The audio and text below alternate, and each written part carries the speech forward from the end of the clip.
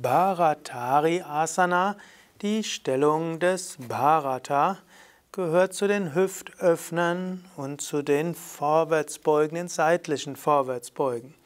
Im Sitzen bring die Fußsohlen zusammen, die Knie nach außen, fasse mit den Händen um die Füße und gib dann die Fersen auf den Scheitel. Schaue dabei auf die Nasenspitze und atme gleichmäßig tief ein und aus.